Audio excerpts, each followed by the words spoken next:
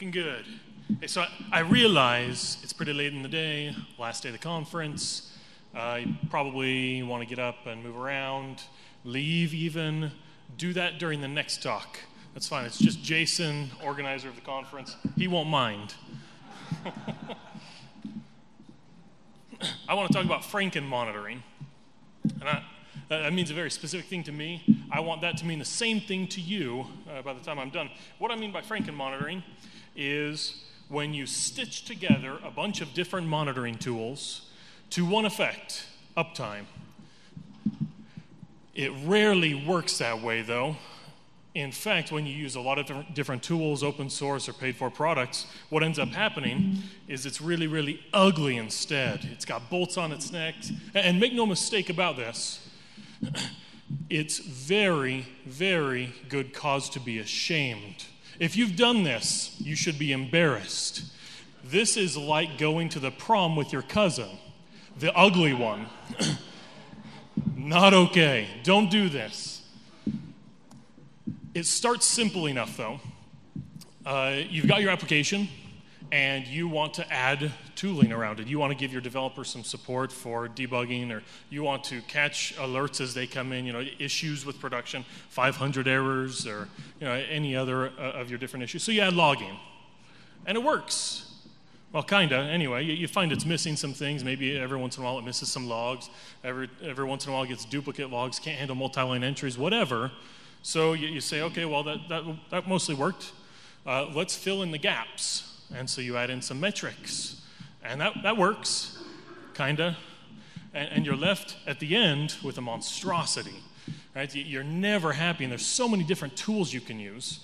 And you find out after you've done all this, developers don't use it. In fact, it's really difficult to get anything done, right?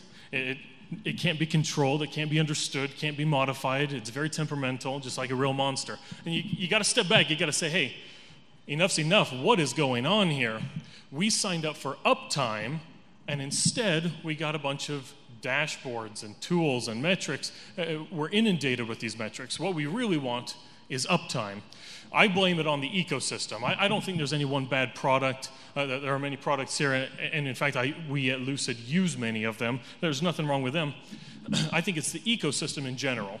It causes three main problems. First is cost of evaluation. When I decide I want a new tool, I have to go spend a lot of time finding which one I want. Does it work for me? I have to be concerned with pricing. Can we even afford it? Does it do the features I want? Can we understand it? Will it work with my teams? What's their uptime requirements? Is it going to work? Right, there's a lot of investigation that has to go into this. And so I want you to meet Torgi. No, this isn't my cousin, and no, that wasn't a real story anyway. but Torgi, he works at Lucid Software. And he's the guy, every time we want a new tool, we tell him, hey, Torgi, go make it happen. And he disappears for a month. And we don't see him. And every once in a while, he'll come back and say, you know what, there isn't anything better than what we already have. It doesn't work for us, we know that, but that's the best we got. Uh, just because we have such strict requirements. It's probably the case that you guys have uh, similar requirements. But my point here, though, is it takes a lot of time, energy, money to even look for new tools. Second issue lack of context.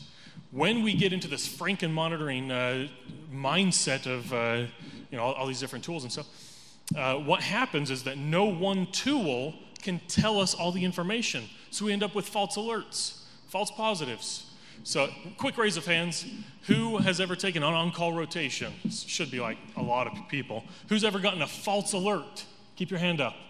Who's ever gotten a false alert at night and was happy about it? Yeah, that's how I feel. It's really stupid. I feel that a real set of tools should be able to tell me what I'm looking for.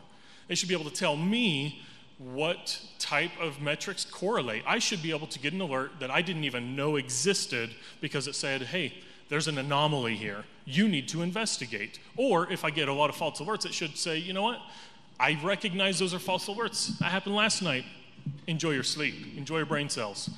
Third issue time to resolution. Uh, th- this, uh, plays heavily into the five nines of availability.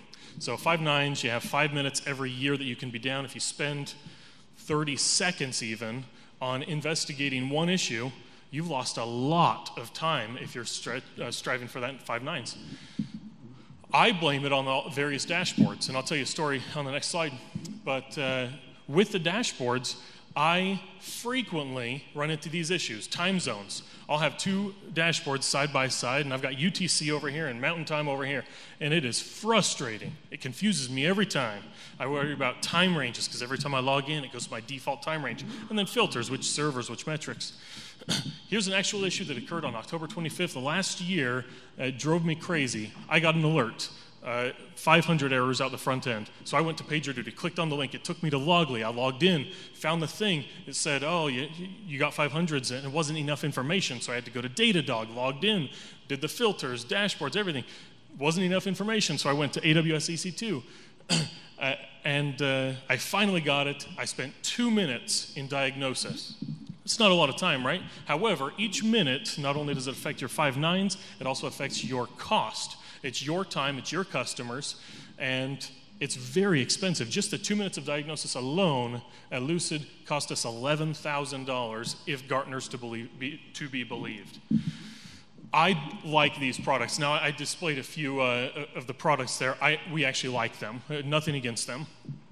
What I'm really trying to say is this sucks. I wish there was something better.